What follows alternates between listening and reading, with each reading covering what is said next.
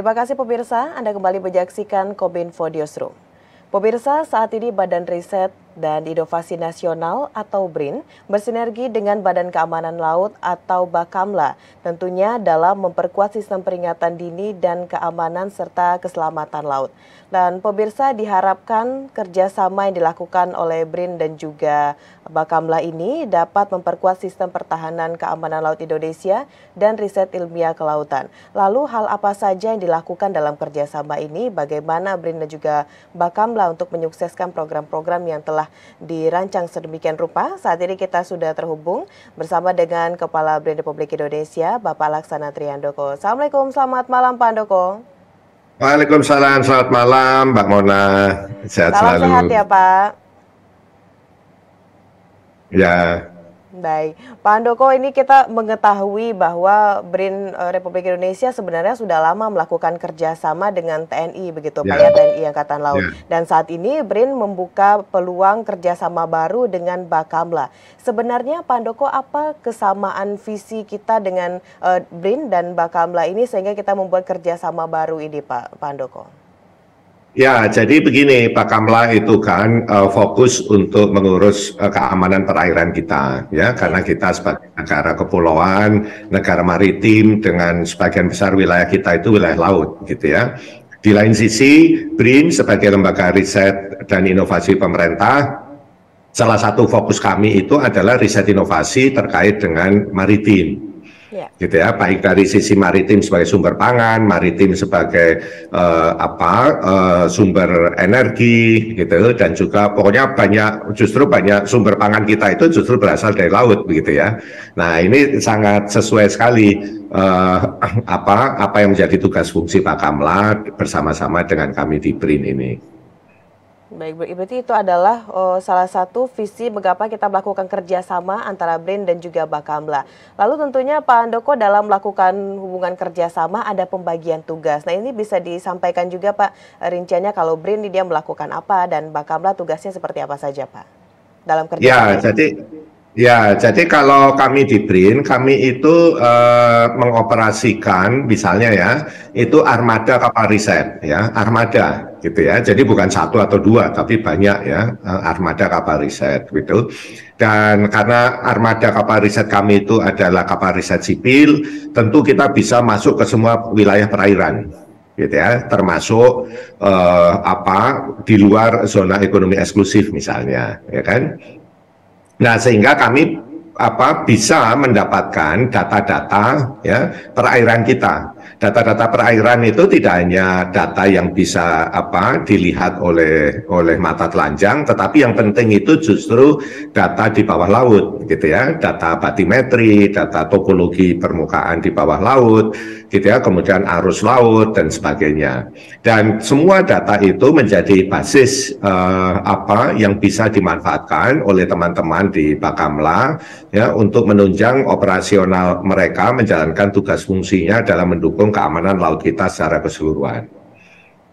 Baik, untuk kerjasama yang kita lakukan ini, Pak Andoko, apakah ini murni uh, inisiatif dari BRIN atau mungkin ada pihak lain yang mengusulkan untuk BRIN dapat bekerja sama juga dengan Bakamla? Sejauh ini seperti apa Pak hal tersebut?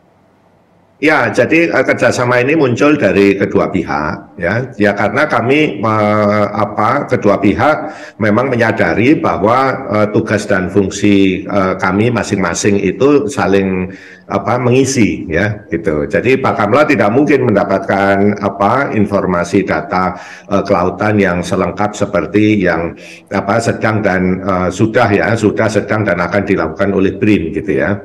Karena kita akan melakukan penyisiran perairan kita itu memakai armada kapal riset kita itu secara menyeluruh begitu ya gitu dan kemudian data yang kami dapat itu juga dianalisa secara ilmiah ya kan dan e, baru informasi yang sudah dianalisa diolah tersebut itulah yang kemudian bisa dimanfaatkan ya oleh Pak Kamla dan juga sebenarnya KL-KL yang lain. Baik. Kalau tadi Bapak sudah menyampaikan pembagian tugas atau peran masing-masing dari Bakamla dan juga BRIN. Nah saat ini Pak Andoko ingin kita ketahui juga bentuk kerjasama riset ini nantinya mencakup hal apa saja Pak? Apakah akan berfokus saja pada kerusakan ekosistem laut atau mungkin pada deteksi navigasi kapal asing ini Pak Andoko? Ya, jadi uh, tadi saya sudah sampaikan bahwa kami uh, melakukan pengumpulan data dari seluruh wilayah perairan kita, ya, ya. gitu. Belum semua kita miliki soalnya ya, gitu. Nah, uh, selain itu kami juga uh, memiliki uh, konstelasi uh, satelit, ya, termasuk kita membeli data citra dari berbagai satelit yang melewati uh, wilayah udara Indonesia gitu. Nah, itu sangat penting untuk misalnya dalam konteks keamanan laut ya, itu untuk mentrace ya, mentrace misalnya ada sesuatu yang terjadi di laut. Misalnya ada uh, kapal yang mengalami kebocoran, kerusakan tangki tank apa kapal tanker ya, misalnya. Kemudian dia uh, apa namanya uh, bocor ya minyaknya tumpah ke laut misalnya nah itu akan sangat tergantung pada data yang kami miliki untuk melakukan tracing dan memastikan bahwa minyak laut itu memang yang tumpah itu misalnya disebabkan oleh kapal itu gitu ya misal untuk melakukan identifikasi dan sebagainya. Jadi uh, memang banyak hal yang uh, apa bisa dimanfaatkan ya oleh teman-teman uh, di Bakamla dari apa yang sudah uh, kami lakukan selama ini gitu. Baik, menjaga keamanan dan keselamatan laut Indonesia ini bukan hal yang betul. mudah untuk dilakukan begitu Pak Andoko. Tentunya ke depan kita betul, harus betul. melakukan karena wilayahnya evaluasi. terlalu luas ya, ya, ya dan benar. luas dan kita kepulauan kan sehingga hmm. uh, banyak area laut yang yang yang tidak selalu dilewati juga kan ya, gitu ya. Jadi tidak ya. seperti negara kontinen yang lautnya pasti hanya di pinggirnya saja gitu ya. Benar sekali gitu. Pak. Tentunya ini juga harus ada evaluasi dan juga peningkatan kualitas SDM yang kita uh, antara BRIN dan juga Bakamla. Ke depannya kita melakukan evaluasi ini sudah ada uh, pemetanya Pak sekali berapa bulan atau jangka waktunya dan bagaimana kita melakukan uh, peningkatan kualitas terhadap SDM kita nantinya Pak Andoko. Ya, jadi uh, BRIN itu memiliki uh, beberapa program mobilitas periset ya sebenarnya programnya. Nah, salah satunya, jadi ada delapan skema ya dari program ya. mobilitas riset riset kami itu salah satunya adalah degree by riset. Jadi uh, apa S2 S3 berbasis aktivitas riset dan itu kami kerjasamakan dengan uh, perguruan tinggi PTNBH ya, perguruan tinggi negeri berbadan hukum semuanya yang ada di Indonesia serta beberapa mitra perguruan tinggi di luar negeri. Nah, program ini uh, sebenarnya terbuka untuk semua masyarakat Indonesia termasuk tentu saja uh, sivitas uh, para apa uh, yang ada di Bakamla misalnya ya. Dan karena masalah maritim ini masalah yang apa uh, isunya sangat kompleks ya, membutuhkan apa eh, pengetahuan, membutuhkan skill yang sangat bermacam-macam, tidak hanya skill terkait kelautannya, tapi juga skill terkait uh, klimatologinya, skill terkait geologinya, skill terkait apa uh, sumber daya lautnya juga dan sebagainya, gitu ya. Nah, tentu Pak Kamla juga memerlukan apa penguatan SDM terkait itu, gitu ya.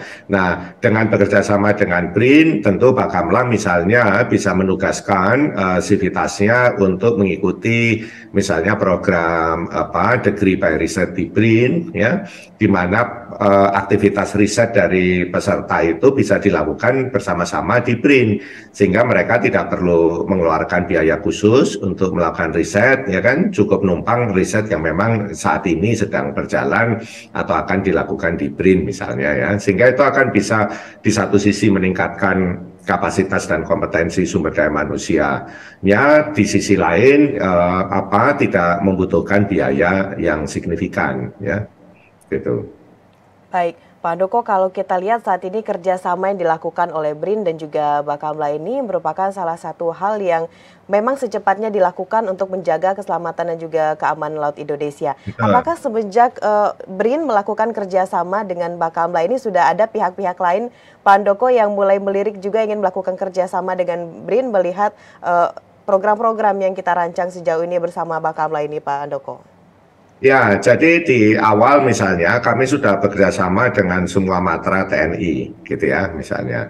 Nah, kemudian diikuti dengan Pak Kamla dan juga uh, saat ini dengan hampir semua kementerian lembaga, ya, gitu. Ya, karena uh, BRIN itu sejak awal kan merupakan integrasi ya dari berbagai unit yang tadinya juga ada di kementerian lembaga. Sehingga setelah proses integrasi selesai pada bulan Februari tahun uh, ini ya di awal tahun ini kami tentu harus mengembalikan ya layanan itu kepada ke, uh, semua kementerian dan lembaga tadi gitu. Jadi praktis saat ini kami uh, memiliki kerjasama dengan hampir semua kementerian dan lembaga ya gitu. Selain tentu dengan berbagai pihak uh, di luar pemerintah gitu. Baik, kerjasama yang baik terus menjadi komitmen dari BRIN tentunya Pak ya untuk menyukseskan berbagai Betul, uh, visi dan misi kita. Pak, Pak Andoko, lima tahun ke depan kira-kira akan dibawa ke mana kerjasama antara BRIN dan juga Bakamla ini Pak untuk mengamankan Laut Indonesia? Ya, jadi uh, kami akan memperkuat sinergi dengan Bakamla, ya khususnya uh, karena memang uh, salah satu fokus riset inovasi kami itu adalah uh, targetnya yang uh, semua sumber daya kita yang ada di laut, ya, dan sumber daya kita yang ada di laut itu sebenarnya jauh lebih besar daripada yang ada di darat gitu. Ya tidak hanya karena wilayah laut kita itu lebih luas daripada wilayah daratan tetapi juga memang secara umum laut itu memiliki potensi yang jauh lebih besar baik dari uh, laut sebagai sumber pangan laut sebagai sumber energi laut sebagai apa uh, uh, moda transportasi dan sebagainya ya. Dan uh, untuk untuk bisa mengeksplorasi dan memanfaatkan ya perairan Indonesia yang sedemikian luas itu tentu kami tidak bisa bekerja sendiri gitu. Dan apalagi kalau dalam konteks uh, tadi yang sudah disampaikan